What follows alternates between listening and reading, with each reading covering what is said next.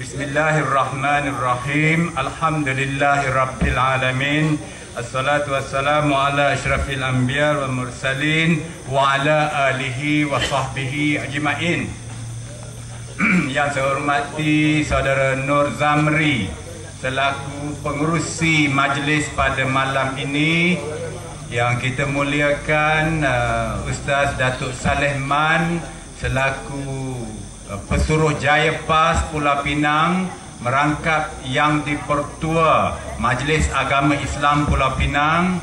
Uh, yang saya muliakan uh, sahabat saya yang berhormat Ustaz Firdaus Jaafar ahli parlimen Jerai Kedah merangkap sebagai ahli jawatan kuasa pimpinan Pemuda PAS Pusat penceramah jemputan Ustaz Abdullah Khairi pimpinan PAS uh, Negeri Ustaz Fauzi Timbalan Pesuruhjaya pimpinan PAS kawasan Nibung Tebal uh, Saudara Rahman Ramzan para alim ulama para pemimpin masyarakat para pegawai kerajaan pegawai keselamatan masyarakat-masyarakat bukan Islam yang hadir. Assalamualaikum warahmatullahi taala wabarakatuh dan salam sejahtera Alhamdulillah kita mengucap syukur kepada Allah Subhanahu wa taala di bulan Ramadan di, di bulan Rabiul Awal ini di bulan Maulud ini kita dapat berhimpun di uh, kawasan uh, Nibung Tebal ini di Sungai Aceh ini khususnya untuk sekali lagi mengadakan himpunan penjelasan tentang isu-isu semasa oleh penceramah-penceramah yang diatur khas oleh PAS Pulau Pinang dan PAS Nibung Tebal. Saya yang hadir di Pulau Pinang daripada awal pagi hingga hari ini sangat kagum dengan perkembangan yang saya perhatikan. Bukan sahaja dalam mesyuarat dan majlis-majlis tertutup tetapi dalam peluang eh, dua tiga kali petang ini saya menjelajah beberapa kawasan dalam Parlimen Nibong Tebal ini termasuklah di pekan uh, Sungai Aceh ini. Maka saya perhatikan bahawa Alhamdulillah masyarakat kita di Nibong Tebal ini masyarakat kita di Pulau Pinang ini dan uh, berbagai-bagai jenis orang yang saya temui hari ini uh, adalah Alhamdulillah paling jelas, teguh, kuat kehendak mereka, cita-cita mereka agar negeri Pulau Pinang ini terus dikuasai oleh Pakatan Rakyat. Tuan-tuan yang saya muliakan sekalian, negeri Kelantan, negeri saya, Alhamdulillah telah dikuasai, uh, telah dimenangi oleh Parti PAS daripada awal-awal lagi. Bermula dengan pilihan raya tahun 59, tahun 64, tahun 69, tahun 74 dalam Barisan Nasional, tewas hanya tahun 78, tewas sekali lagi 82, tewas sekali lagi tahun 86, menang kembali tahun 90, terus menang tahun 95, 99, 2004, 2008.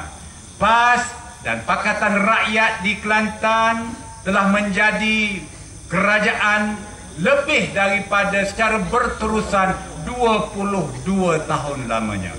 Alhamdulillah dalam pilihan raya umum yang ke-12 yang lalu bukan sahaja Kelantan kita menang tetapi Kedah kita menang, Selangor kita menang, Perak kita menang, Pulau Pinang kita menang.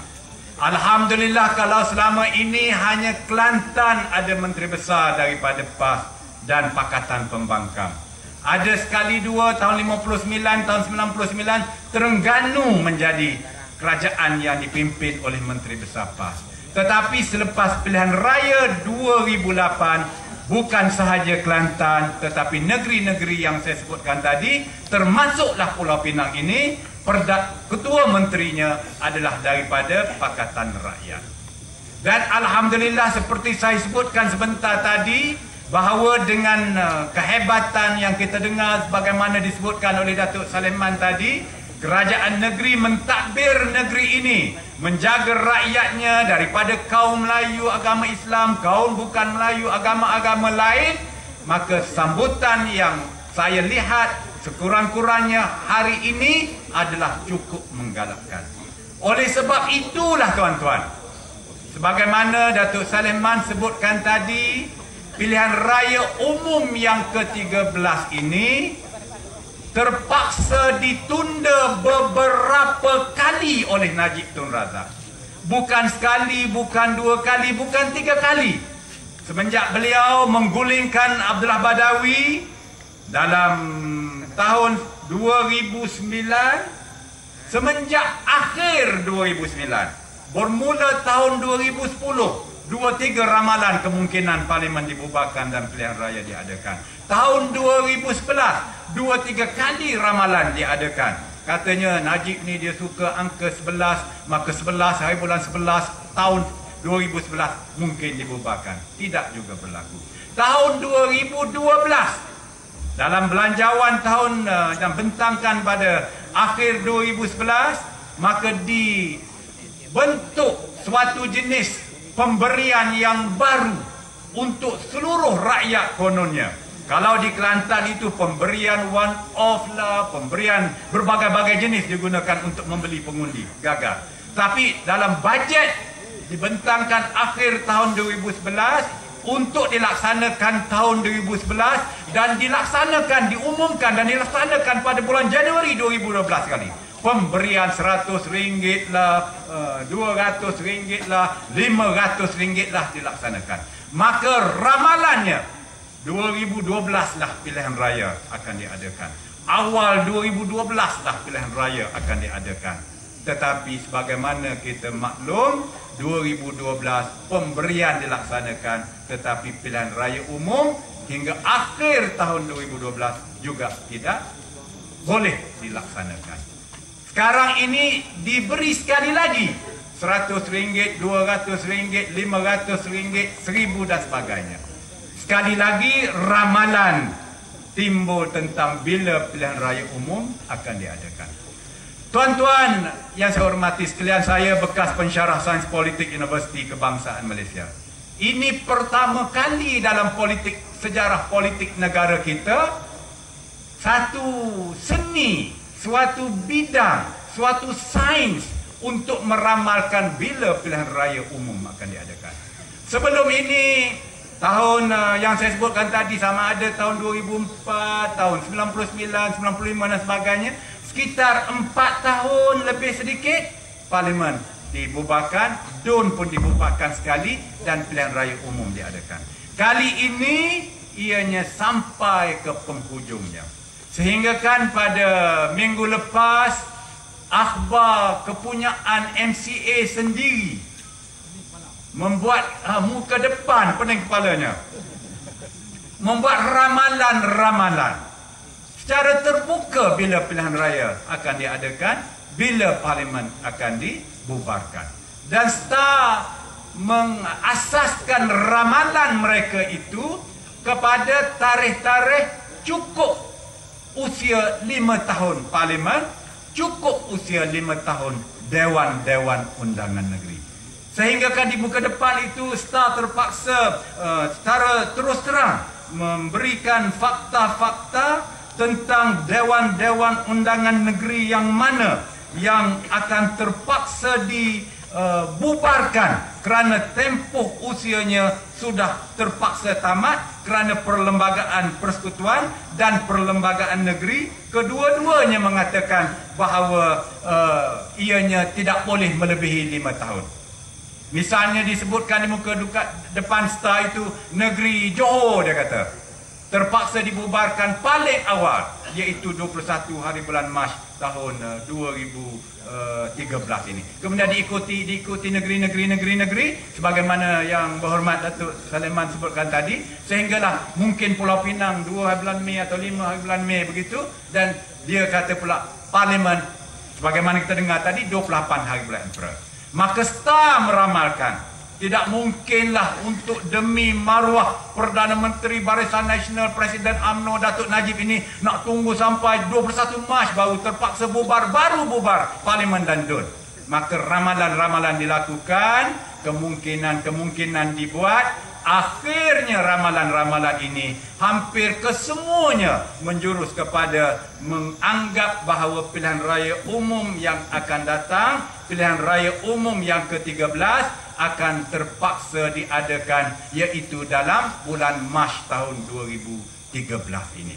Ada yang meramalkan 22 hari bulan uh, Februari bubar, 16 hari bulan Mac uh, penamaan calon, 30 hari bulan Mac hari mengundi. Ada yang meramalkan bahawa 22 hari bulan uh, Februari itu belum lagi uh, tamat perayaan tahun baru Cina masih lagi belum uh, sampai lepas Cap Gome maka ditunda sedikit ramalan itu 24 26 ataupun akhir bulan uh, Februari bubar. Tetapi rata-rata meramalkan bahawa pilihan raya umum yang akan datang akan diadakan hari mengundinya di sekitar penghujung hari bulan Mac tahun 2013 ini. Jadi kami berharap bahawa bukan sahaja kali ini Kelantan dikekalkan oleh Pakatan Rakyat, bukan sahaja Kedah kekal, bukan sahaja Selangor kekal, bukan sahaja Perak kita ambil balik, bukan sahaja Pulau Pinang kita menang sekali lagi.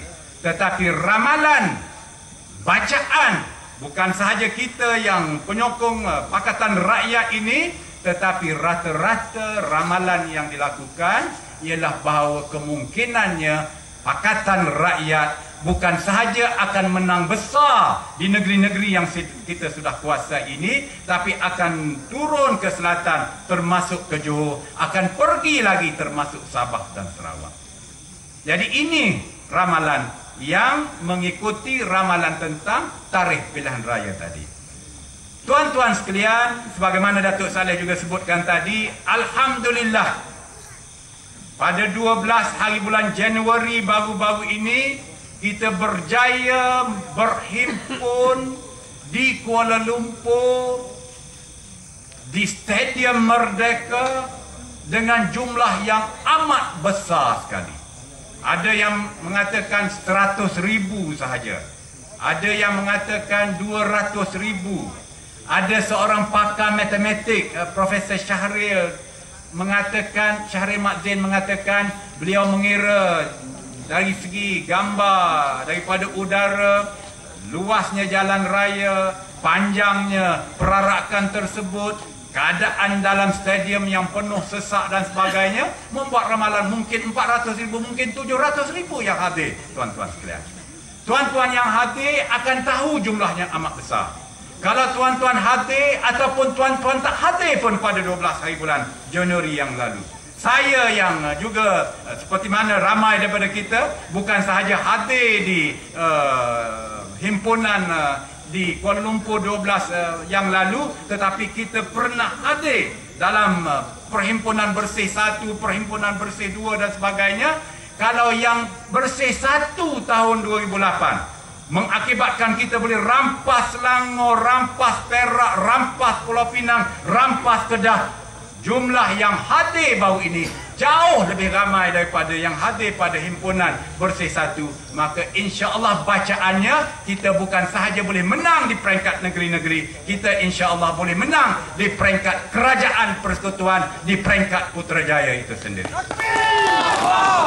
Oleh itu kita di Pulau Pinang kita di Nibong Tebal, kita di Sungai Aceh mesti bekerja kuat. Kita yang hadir ini memang akan mengundi dan menyokong Pakatan Rakyat. Tetapi yang akan mengesahkan kemenangan kita untuk kita lebih kuat sebagai PAS di Pulau Pinang ini misalnya ialah kita mesti menarik pengundi-pengundi atas pagar dan memenangkan kerusi-kerusi DUN, kerusi-kerusi parlimen yang kita tandingi. Kita sudah tentu menjangkakan DAP akan menang besar sekali lagi.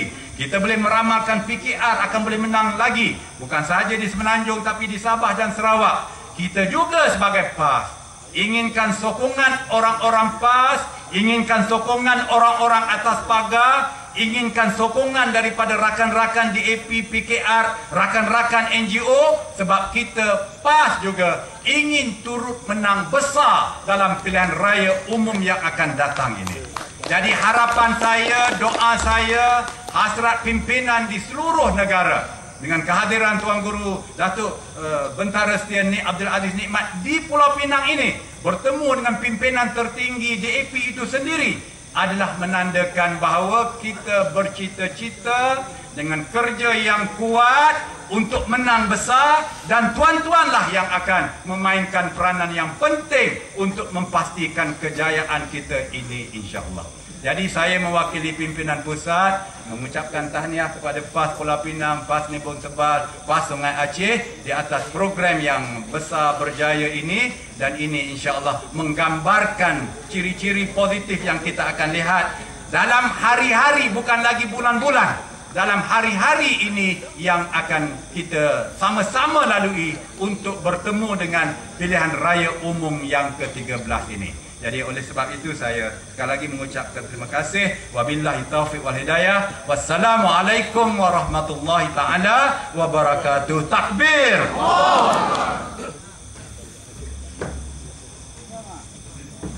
Terima kasih yang berhormat Datuk Haji Kamarudin Jaafar.